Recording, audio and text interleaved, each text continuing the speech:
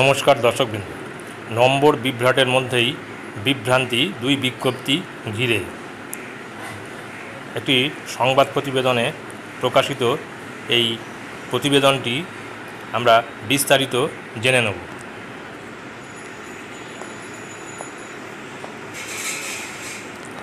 নম্বর বিভ্রাট ঘটিয়েছে সংসদ। তার খেসারত স্কুলের শিক্ষকদের দিতে হচ্ছে। সোমবার বিকেল চারটের সময় ভিডিও কনফারেন্স করে রাজ্যের সমস্ত ডিআইদের শিক্ষা সচিব মনীষ জৈন নির্দেশ দিয়েছেন। যতগুলি স্কুলে উচ্চ মাধ্যমিকের নম্বর বিভ্রাট হয়েছে, সেই সব স্কুলের প্রধান শিক্ষক বা শিক্ষিকাদের সমস্ত কাগজপত্র নিয়ে মঙ্গলবার দুপুর তিনটের সময় সংসদ অফিসে হাজির হতে। উচ্চ মাধ্যমিকে প্রায় আঠেরো হাজার ছাত্রছাত্রীর মার্কশিট গণ্ডগোল হয়ে রয়েছে বলে শিক্ষা সচিব ভিডিও কনফারেন্সে উল্লেখ করেছেন।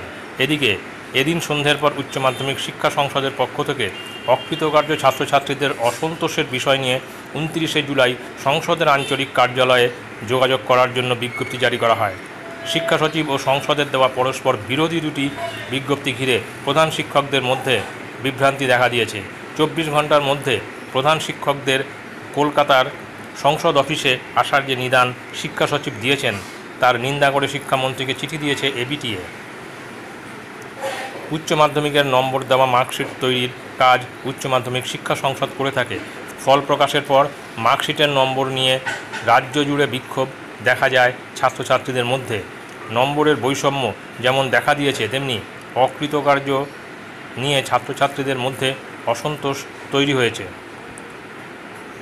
শিক্ষা সচিবের পক্ষ থেকে মুখ্য সচিবের সঙ্গে সংসদ সভাপতির আলোচনা উল্লেখ করে অবিলম্বে এই অসন্তোষ মেটাতে এসটিও, বিডিও এবং জেলা স্কুল পরিদর্শককে সংশ্লিষ্ট স্কুল কর্তৃপক্ষের সঙ্গে যোগাযোগ করার নির্দেশ দেওয়া হয়েছে।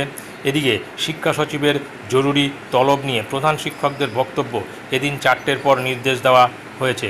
ছাত্রছাত্রীদের যাবতীয় কাগজপত্র স্কুলে থাকে, কেউ বাড়িতে নিয়ে যান না। এদিন চারটের পর যখন নির্দেশ দেওয়া হলো, তখন অনেক প্রধান শিক্ষক স্কুল থেকে বাড়ি চলে গেছেন।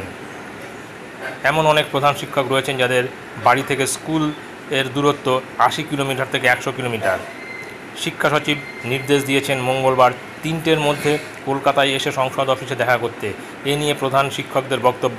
সকালে স্কুলে গিয়ে ছাত্রছাত্রীদের কাগজপত্র নিয়ে কলকাতার উদ্দেশ্যে রওনা হয়ে দুপুর তিনটের মধ্যে সংসদ অফিসে হাজির হওয়া সম্ভব নয়। তাছাড়া দূরবর্তী জেলা থেকে কলকাতায় আসার কোন যানবাহন রয়েছে যা নিমেষে পৌঁছে দেবে, সবই তো বন্ধ।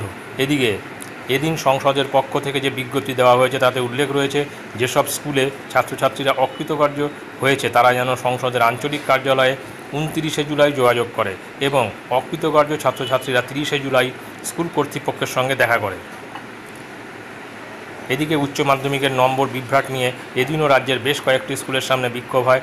বাঁকুড়ার রায়পুরের বাগজাতা হাই স্কুল ও বাঁকুড়া থানার কেঞ্জাকুড়া গার্লস হাই স্কুলের ছাত্রছাত্রীরা এদিন বিক্ষোভ দেখায়। রায়পুরের বাগজাতায় বাঁকুড়া ঝাড়গ্রাম রাস্তার ওপরে প্ল্যাকার্ড, ফেস্টুন গলায় ঝুলিয়ে পথ অবরোধ অবরোধ করেন রায়পুরে বাগজাতা হাই স্কুলের পড়ুয়ারা। বাঁকুড়ার কেঞ্জাকুড়া গার্লস হাই স্কুলের ছাত্রছাত্রীরা স্কুলের গেটে তালা লাগিয়ে বিক্ষোভ দেখায়। দুই জায়গাতেই পুলিশ এসে পরিস্থিতির সামাল দেয়। বাসন্তীর ফুল মালঞ্চ ঋতু ভকত হাই স্কুলের ছাত্রছাত্রীরা এদিন চুনোখালি কলতলা মোড়ে পথ অবরোধ করে। সকাল প্রায় নটা থেকে বেলা এগারোটা পর্যন্ত পথ অবরোধ হয়। ফুল মালঞ্চ, ঋতু ভকত হাই স্কুলের একশো পঁয়তাল্লিশ জন ছাত্রছাত্রীর মধ্যে উচ্চ মাধ্যমিক উত্তীর্ণ হয়েছে মাত্র চল্লিশ জন। একশো পঞ্চাশ জন ছাত্রছাত্রী অকৃতকার্য হয়েছে।